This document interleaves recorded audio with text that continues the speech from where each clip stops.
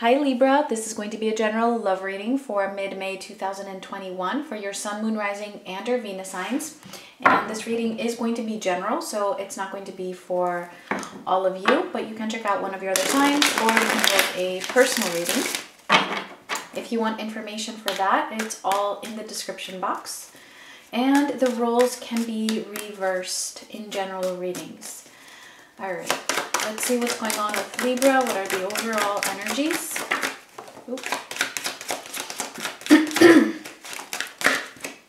All right, so we have observer and we have solitude. All right, so it feels like somebody is feeling very lonely while they are observing the other person. All right, so it could be you or it could be them. I feel like there is obviously some kind of a separation or a distance between the two of you. It doesn't necessarily mean that you're not talking at all. It's just that there's some distance between the two of you and one person is feeling very alone. All right, while observing the other. So let's get into this and see.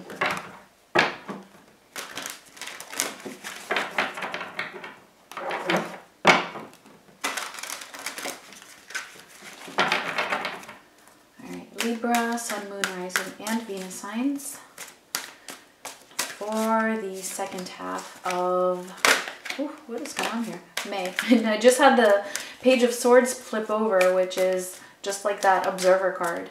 Somebody really um, following the other person, curious as to what is going on in their lives. All right, let's see. Libra. So for your energy, we have the Hermit, the Seven of Pentacles, and the Nine of Cups. Hmm. All right, so it feels like, yeah, you, I feel like you are in a little bit of solitude actually, um, but I'm not sure if this is you that is feeling lonely, which is the energy I was getting with the first um, Oracle cards. I feel like you are just going within, you might be a little bit withdrawn, um, just from the world overall, not necessarily only from this from this person or from this connection. And I feel like what you're doing is you're trying to plant the seed, you're trying to work on something.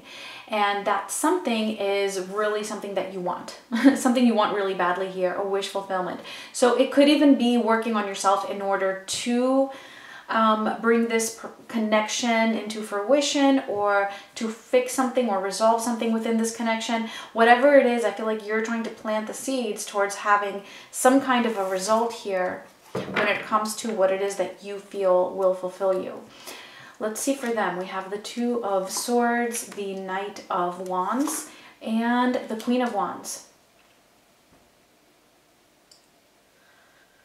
All right, so this person feels like there's either something that they're not agreeing with, something, I'm even getting almost like something that they don't like. I, I, I, I feel like a sense of frustration maybe even though there is there's a lot of desire here to have you. They're seeing you as this Queen of Wands. They they're seeing you as somebody very very desirable, like see, thinking very very highly of you. But there's also some frustration here. Um, maybe feeling like, you know, that there's no sense of agreement. Possibly just feeling a little bit indecisive when it comes to this connection. Let's see what is coming up. We have the Star, we have Justice, and the Hierophant. All right, wow, three major arcana. And a message for you here is the King of Swords. All right, which is your element. very um, determined energy, very decisive, very confident, very cool as well. Um,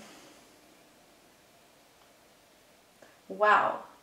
This future energy just wow. It, it just feels so different than the current energy.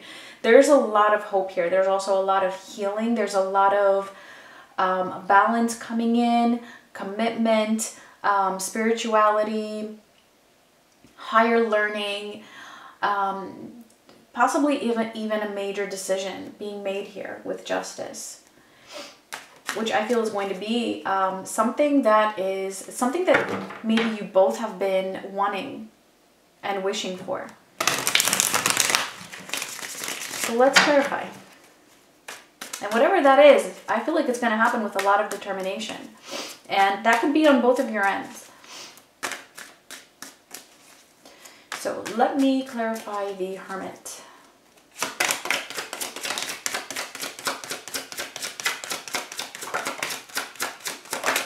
Ooh, all right, we got quite a bit there.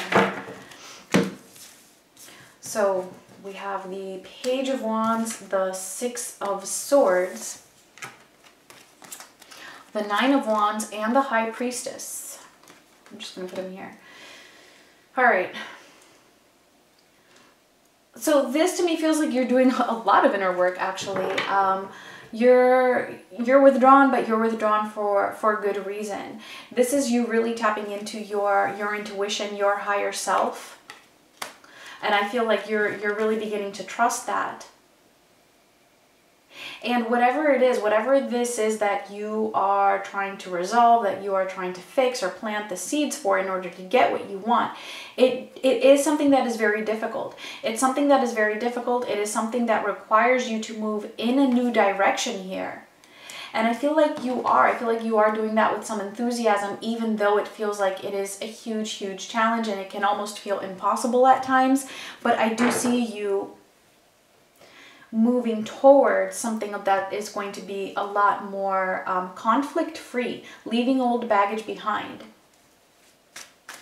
because of this. So whatever it is that you're doing, I feel like, you know, keep doing it because it's working. It is definitely moving you in the right direction here. Right, let's see the Seven of Pentacles.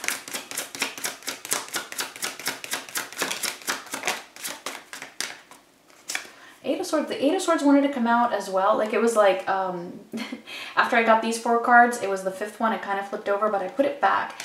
And let's see, if card wants to come out, it will come out. so clarifying the Seven of Pentacles, we have the Eight of Swords and the Two of Swords.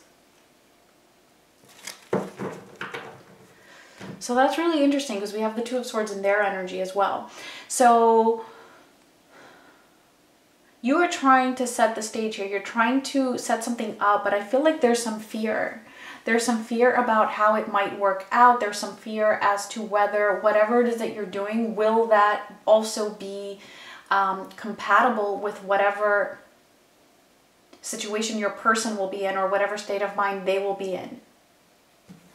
That's what this feels like. And but I feel like you're doing it anyway, and I feel like that's a good thing that you're doing it anyway because it in the end it shouldn't even matter. You know you have to do you. You have to do what is best for you. Um, follow your in, your own intuition as you are doing. And you know if if it turns out that whatever it is that you're doing is actually moving you away from this person or away from this connection there's a reason for that. It it does not mean that you won't end up together. It doesn't mean that you will end up together. It's it's like two different things. It, what I'm getting here is that that shouldn't be something that you you should allow to hinder you. Okay, let's see the Nine of Cups.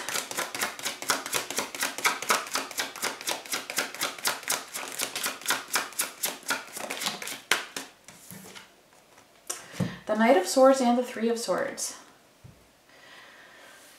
oh okay you you're moving ahead i mean you're really moving forward and for i don't know what this three of swords is but there's something painful here there is something that also causes you some pain in order to get to what it is that you want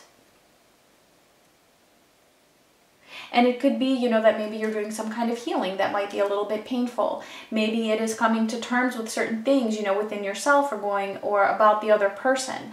Whatever it is, I feel like you're still, you're, you, there's a lot of action here. Like you're really moving towards that wish fulfillment. And so the message here is, you know, don't allow fear. this could even be just a fear of, of being hurt, a fear of being heartbroken, maybe even a fear of being alone for some of you. But mostly I feel like it's a fear of there being um, pain or maybe of even something ending for good to the point where it will, it you feel like it would bring you a lot of pain. Um, but again, that's just that's just a fear. It's just I feel like it's just an illusion in, in your mind. which can happen sometimes when you overanalyze things or when you just allow your mind to take over and you think too much. Whereas you you're in tune with your intuition. So go with that. All right, let's see what's going on with the other person here. See the Two of Swords.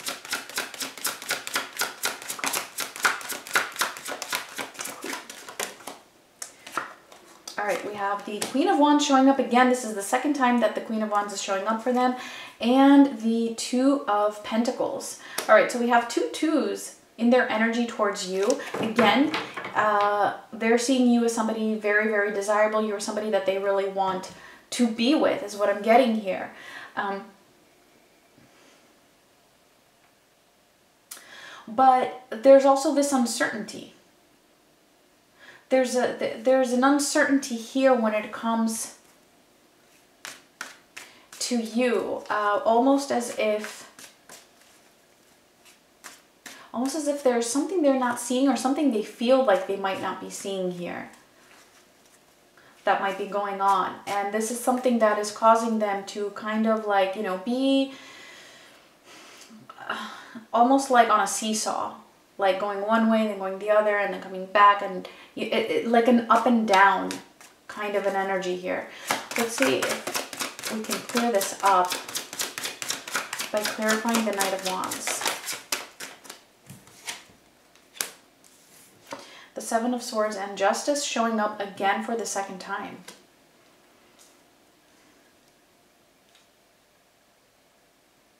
Hmm. it almost feels like this person has the sense maybe that things are just kind of slipping out of their control. Things are slipping away from them, and this is causing some frustration. Or they might feel like, again, like there's something that they don't know. Like if you're being very reserved, they feel like maybe you're hiding something. But we also have justice attached to this, which is telling me that there is a reason why this is happening. Um, I feel like there is there could be some underlying karma that is playing out throughout this, and this could be also related to this person's um, to the frustration that they might be feeling or you know this this imbalance of back and forth. But what i get here is that through this situation that is being balanced out. This could even be related again as i said for the future energy that i feel like there's a decision being made here. Um, it could even be that whatever it is that's happening here, this feeling like something is slipping out of their control is what might lead this person to to making a decision or to um, finding some kind of a balance within themselves because I see them as being a little bit imbalanced here. So I do see this justice as being more of a future energy rather than in the current energy. It's just what this what this is leading up to which could even be that they don't know. So I do get the sense that for some of you, uh, or actually for most of you, it could be that it's this person who is being the observer here and kind of being a little bit sneaky about it. Oh, let's see. Let me clarify the Queen of Wands.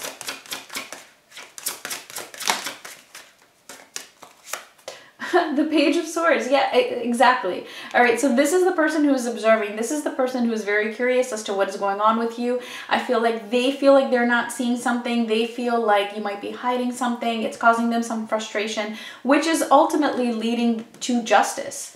It's leading to some kind of a, a decision here. Um, we also have the Four of Wands, clarifying the, the Queen of wands together with that page of swords. So yeah they're they're viewing you as somebody that they really want. They're viewing you as somebody that they belong with somebody that they feel at home with. Feeling a very strong connection here. And it could be that this person maybe hadn't realized it before um, to this extent.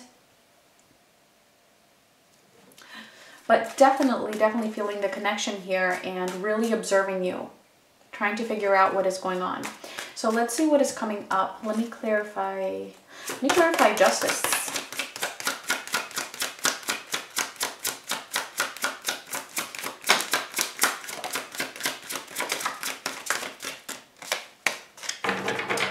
Okay, so we have the Five of Swords and we have the Six of Cups.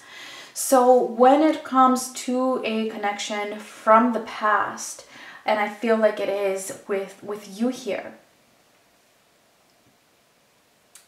there has been a lot of a lot of deception, all right, in the past. And it could even be self-deception or somebody being a little bit manipulative, somebody just wanting to have it all, having their cake and eat it too.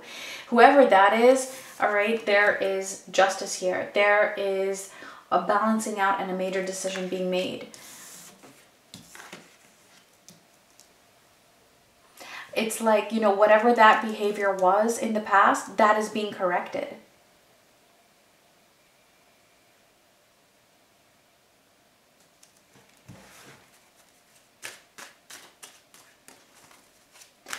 So let's see the let's see the Hierophant. This is where things are moving towards and there is a lot of hope. I'm seeing all of this in a very positive light just because I mean we're we're starting this off with the star.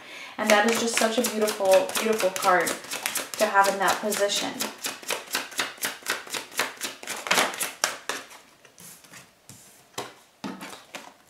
All right, the Knight of Pentacles, the Ten of Cups, and the Wheel of Fortune. Wow.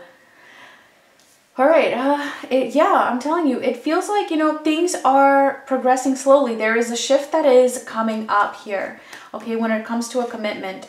It, it might feel like it's, it's a little bit slowly, but it is happening very, very strategically and possibly also very, very cautiously. But what this is leading to is this Ten of Cups, ultimate happiness, ultimate fulfillment, and I feel like, you know, this is coming up for you. It's really just a matter of, of time a matter of time and things just really balancing out. And I feel like when it does happen, you know, it's going to happen with a lot of determination. Or take this as encouragement for you. If this is, if there's a decision that you are making, you know, um, here, if there is something that you are working on, be confident with that. You have clarity. You know what is going on here. You are standing in your power, or stand in your power because you totally have what it takes to get that nine of cups, to get what it is that you want. And again, I feel like it's by being in that hermit energy.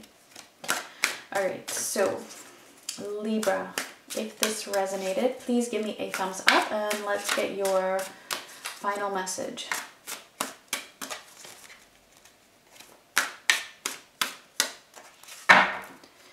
Right, and we have hope. Stay positive. The worst is behind you. Look up to the light. So yeah, that's like this star card, all right? There is a lot of hope here. There's a lot of hope here for you. So Libra, those were your messages. Thank you so much for watching and much love.